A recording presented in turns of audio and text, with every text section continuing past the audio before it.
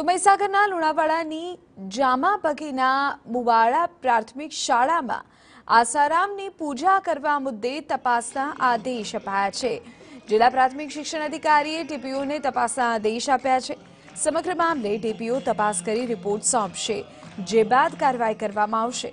મહત્વનું છે કે જામાપકીના બુવાડા પ્રાથમિક શાળામાં ચૌદ ફેબ્રુઆરીથી સત્તર ફેબ્રુઆરી સુધી માતૃ પિતૃ પૂજન દિવસની ઉજવણી કરાય, જેમાં દુષ્કર્મના આરોપી આસારામનું બેનર અને ફોટો મુકાતા વિવાદ થયો. પ્રાથમિક શાળામાં બાળકોના વાલીઓને બોલાવીને માતૃ પિતૃ પૂજન કાર્યક્રમ યોજાયો, જેના દ્રશ્યો લોકોને વિચલિત કરે તેમ હતા. આ કાર્યક્રમમાં આસારામના ફોટોની પૂજા કરવામાં આવી હતી, એટલું જ નહીં, આસારામના પ્રવચન સંભળાવી તેની પૂજા થઈ.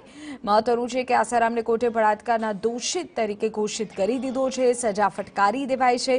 ત્યારે આવા ગુનેગાર આસારામના ફોટોની આરતી ઉતારી શાળાના બાળકોને કયા પ્રકારના સંસ્કાર આપવા માંગે છે, તેવો સવાલ ચોક્કસ ઊભો થાય.